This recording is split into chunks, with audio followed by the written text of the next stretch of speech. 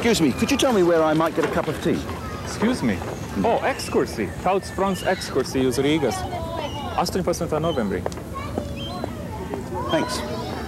Sometimes something as simple as asking the way can become so difficult. A change of language, a change of location. It can be very disorienting. Certainly, we prefer to have familiar things around us.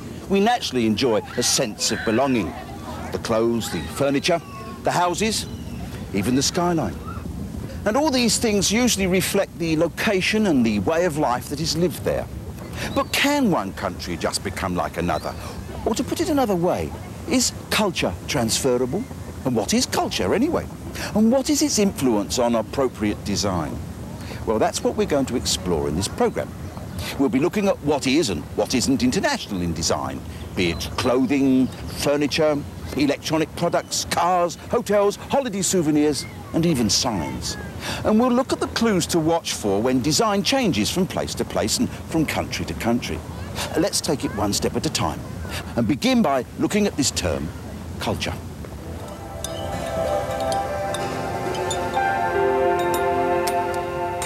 The word culture can mean many different things. We actually call some people cultured. It's quite a compliment. It implies that they're aware of a breadth of attitudes and thoughts which are well developed and offer a mature and sensitive outlook. Yet, historically, we've applied the term culture to groups of people based on their religion, tribal customs, architecture, social practices, and even the colour of their skin. More recently, we've established subcultures, sometimes simply based on the clothing people wear or even a particular taste in music. Generally, then, culture is used to distinguish particular patterns of life and lifestyle. So in many ways, culture is a means by which we show how different we are from each other and also how much we're the same. What that means for design is that the things that influence our lifestyle are often the very same things that affect design. Things such as climate, geography, social norms and customs, technological development, available resources, density of population, and historic evolution. So let's first look briefly at the cultural influences on design in Canada. This is a remarkable country. The second largest in the world, but only the 32nd highest population. The climate can vary by as much as 80 degrees annually with most of us living in a narrow band about 400 kilometres wide and over 6,000 kilometres long that can be described loosely as temperate. Add to this the diversity of terrain, offering either enormous watered areas, huge areas for farming, or the most severe of mountain ranges. Canada also possesses enormous natural resources. If we also consider the ancestry of the Canadian people, coming from all parts of the world, together with the native peoples who were here in the first place, then we can see a wide range of major influences on Canadian lifestyle and culture. And although the population has grown sixfold in the last 100 years, communication by road and rail still has to deal with abnormally long distances. So in designing for the Canadian culture, Let's start by considering the size of the country and the huge distances we have to cope with.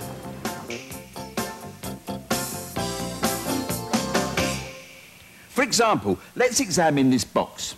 It's big and probably heavy. It says that the contents are fragile, so we've got to handle this thing with some care. And if we have to transport a box like this halfway across Canada, it will undoubtedly be costly, and that fact alone will have a direct effect on the design of products. Let me explain. Highly finished products need careful handling. After all, no one wants to buy something that's chipped or dented. If it is delicate or has a refined finish, then it will need highly developed, specially designed packaging, especially if it's to be transported long distances. In many instances, the packaging itself has to be designed and tested to see if it will withstand the shocks, bumps and bruises of transportation. This box contains a domestic appliance, in this case, a fridge. Usually, appliances are made up of a mixture of metal and plastic components, and they tend to be bulky because washing machines, dryers, refrigerators, dishwashers and ovens all contain large empty volumes inside them. This means that we will be also transporting air and that all the clever, valuable technological bits will be around the outside, where they're quite vulnerable to damage. So if a manufacturer were to ship an appliance, say, 3,000 kilometres, only to have it returned back 3,000 kilometres because of a dented panel or a non-functioning motor, the costs could be prohibitive. It is therefore not surprising that for these kinds of items in North America, sturdiness and reliability are essential and with very long lifespans. Repairs, if necessary, are achieved by sub-assemblies. A new part, easily available through a service centre, can be fitted either by a trained local repairman or even by yourself, if you have the right tools. No need to ship the whole appliance all the way back to its manufacturer. Now, to develop that kind of reliability is demanding on design, and it isn't surprising then that in North America there isn't really a great variety in these major appliances. Oh, there may appear to be a range, but the differences are mainly visually cosmetic. The functional differences are minimal. But marketing and advertising people can't let buyers think that everything stays the same. So each year they advertise a brand new model, except it is often only the superficial parts that change. We are asked to throw away last year's model and buy this year's.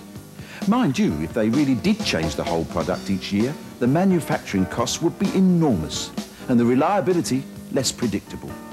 So we see so many ugly stoves in second-hand stores because although they still work, they were no longer visually acceptable to their owners.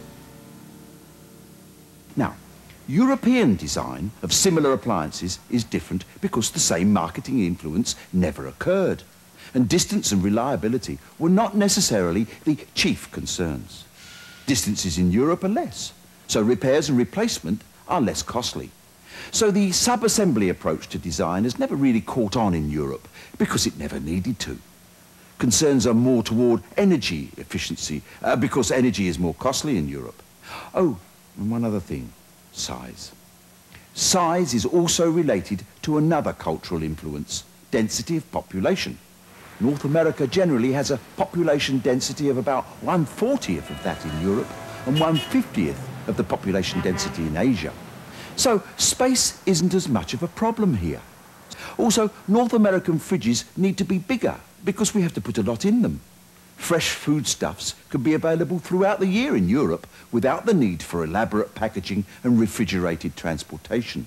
But in Canada, with its short growing seasons, severe winters and reliance on imported foodstuffs, packaging designed for shipping and refrigeration is essential. And so, therefore, are big fridges. For example, the average North American fridge contains about 14 cubic feet, about 0.5 cubic metres of space, whereas in Europe it's about 6 cubic feet, 0.2 cubic metres, or even as low as 4 cubic feet, a mere 0.13 cubic metres. In recent years, the Canadian population has increased, and urban communities have become more densely populated. So there is more and more interest in European and Japanese designs. So we're starting to see appliances like this for stacking in small spaces. Similar evidence can be found in the parking lot. In North American cities, we see more and more compact cars because now there's less space. And compact cars are lighter and therefore more fuel efficient.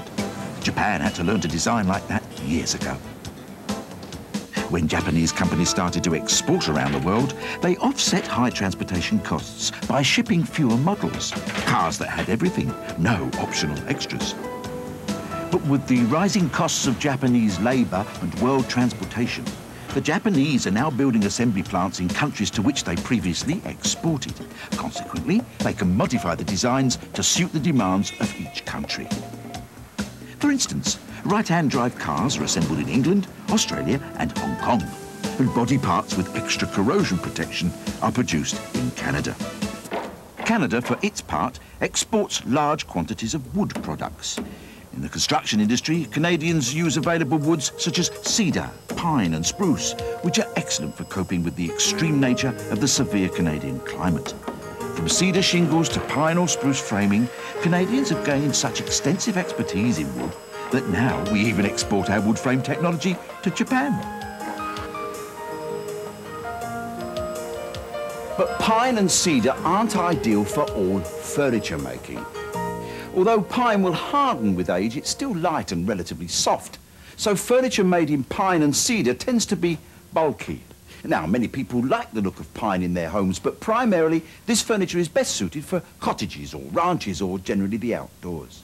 Furniture for inside the house must be appropriate to daily use and abuse, and so is best made from woods like birch, maple, ash and oak.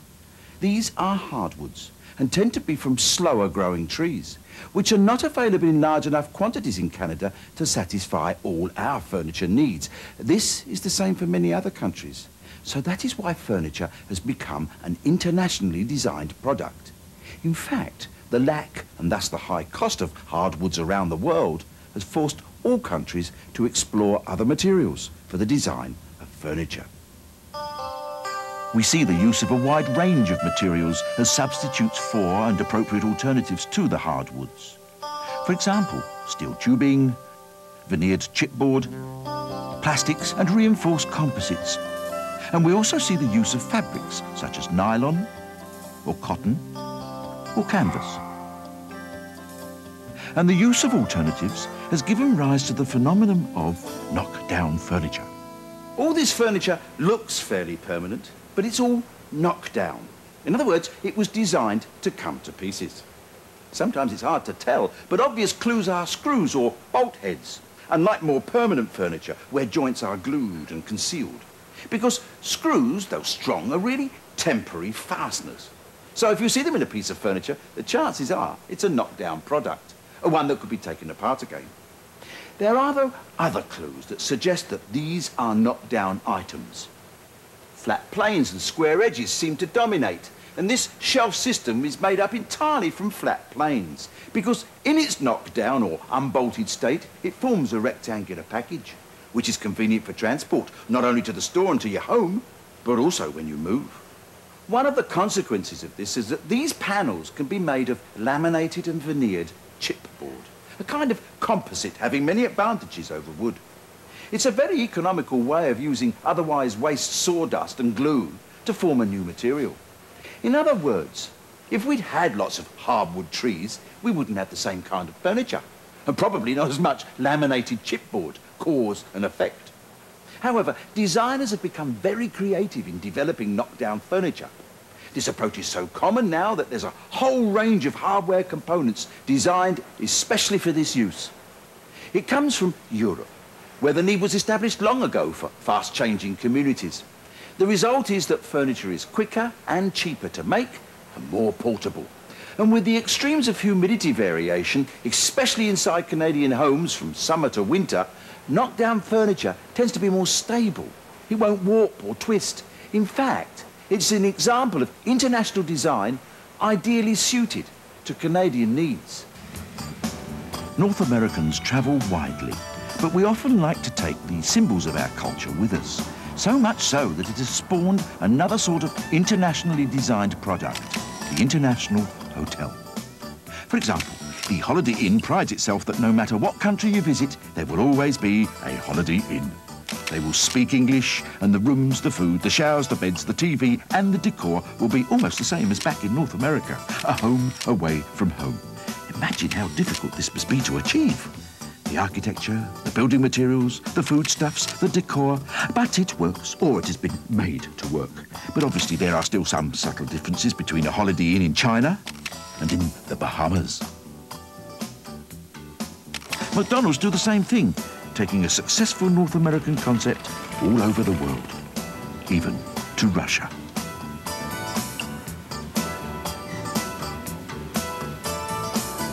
The Chinese restaurant, too, is a very commonplace sight anywhere in the world, with some differences from country to country.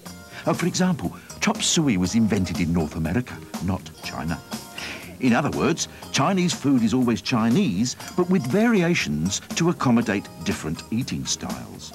Plates instead of bowls, cutlery instead of chopsticks, all made with slight variations, the same but different we can stay with this international theme and look at something else that is internationally enjoyed. Music and its impact on the design of products, such as stereo equipment. Not surprisingly, all this equipment looks the same all over the world. Radios, Walkman, record players, cassette players, CD players. You see, when everyone around the world can use the same items, then good economic design can advance in leaps and bounds. Standardisation of LPs, cassettes, CDs and the electronic equipment they are used with makes for the possibility of very economical products. And they have, in a short time, become mature products because we know how to make them work efficiently, like TVs and stoves mature products with standardized internal electromechanical workings. So every detail can be the same almost anywhere, except one, the instructions for using it. These days we often have trouble making things work because such devices have lots of buttons, some concealed and some with words on or beside them that we, we don't even understand. The problem occurs simply because of too much internationalism. Here's what I mean. Each one of these dots on this large silicon wafer is a tiny circuit board. They're called IC chips. They're made in vast numbers and they have miniaturized and standardized electronic entertainment devices worldwide. But it costs a lot of money to design and produce one chip. So it's proven to be more economical to design all the chips to have all the possible features. So most similar products, VCRs and the like, have identical chips in them that's economically justified standardization. Manufacturers hook up only the features they require. Uh, different models hook up more and more features. So suddenly we have features we don't use often or at all. Features we don't even understand. The products have in the meantime become smaller still with more and more buttons with less and less room for labels. Oh, like furniture, the instructions can be pictorial for electrical products, but it's more difficult. That means we have to become electrical product literate. And all because of this international, cost-effective standardization. But here is one international success, something that doesn't seem to need too many instructions. The piano. There are no instructions, no labels. An evolved product. Three pedals here, and a regular pattern of black and white keys. And this is a truly international product. You see, a piano is made up of a range of specialized components, in turn made from very specialized materials. This piano uses felt for the hammers from England, strings from Germany and Japan, a cast frame from Austria, wood from North America, and it's all assembled in Korea with technical assistance from Germany. Now, that is cost-effective internationalism, relying on getting the best of everything from the most appropriate place, leading to an appropriate design. So the lesson for designers and we the users is not to think of a product as a whole, but of the function of the components, the materials, the technology, transportation. Internationalism can, however, also result in ironic circumstances. Let me explain.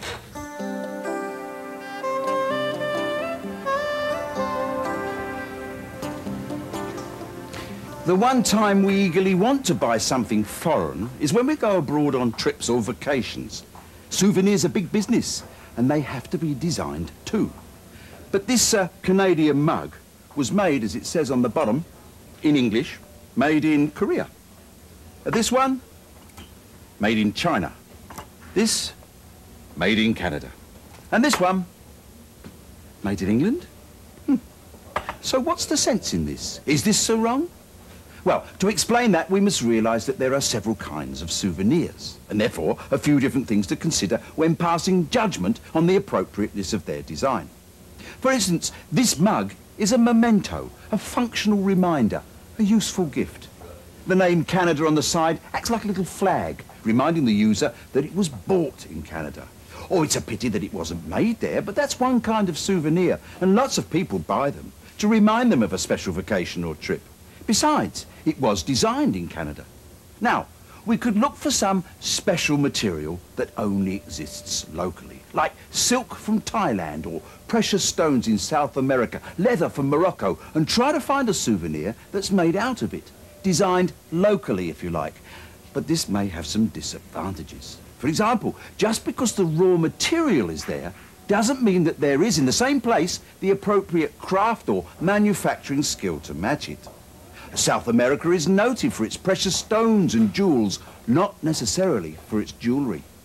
And many people have bought goods made of leather in countries where the tailoring skill and the quality of the thread haven't matched the quality of the leather. So it's often best to bring the raw material back home or even get it made up in another place where they are best equipped to do it. And there are other things to consider before one decides on the appropriateness of the design of a souvenir or gift. I mean, what good is a wallet that isn't big enough for your, your driving licence? Or clothing that doesn't match the climate you live in? Perhaps the commonest reflection of national culture and internationalism can be seen in our clothes. In much of Canada, spring and fall are short seasons. Summers are hot, winters are severe. So with this broad range of climates, clothing designed in Canada tends to vary with the extremes. Now, some clothing can be quite particular to certain parts of the world, but in the design of clothing for people in large cities, there are extensive similarities internationally because the climate variants are more easily dealt with in cities. We tend to be more protected. We travel in cars and buses, work in climate-controlled buildings and are sheltered in our homes, living most of our lives at just above room temperature. So it gets harder to tell where someone is from just from the clothes they wear. On the other hand, I'm not going to wear this or this. Not because I don't want to, but because they don't fit the climate in Canada. Or they don't match my beliefs and customs. There, that's more comfortable. Even when our cultures are similar, language can be a major problem to designers of internationally available products. Now, before worldwide travel and cars, we travelled more slowly. 80 years ago, this street corner looked like this. We used landmarks that didn't change to tell us where we were. Now, they're hidden, or they've disappeared altogether. Today, we travel much faster around our cities. We need signs of the right size to enable us to make the right decisions at the right time. If we can't, then for the driver, it could be stressful or even dangerous. For the international driver, it's a potential disaster. Fortunately, we do have some international signs, like this red octagon, which of course means stop, or green, amber and red for stoplights. In general, the use of symbols and colours is becoming more familiar, but a symbol relies on consistency of use and interpretation. For instance, the red circle with a diagonal stripe means that you cannot do something, like make a right turn. But the same shaped arrow on a yellow warning diamond doesn't mean you can turn right if you're careful. It means the road makes a sharp right turn. This sign means no cycling. So does this sign warn you of riderless bicycles? And does this sign request you not to jump over the cyclists? Now, this is a warning for bumps in the road, but it could mean you are entering an industrial area. In England, this sign warns that elderly people may be crossing, some people think it's a warning against pickpockets.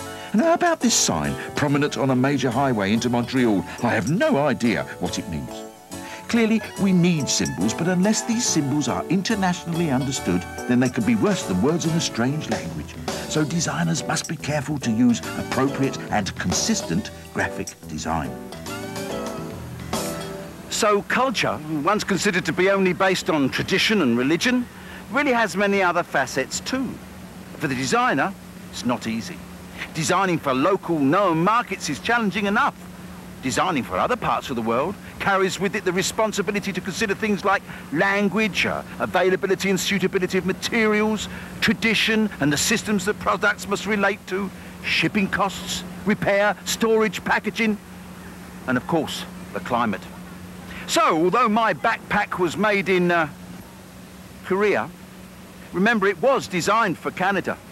So I know it makes sense. Pity it doesn't say where it was designed on the label, though. Oh well.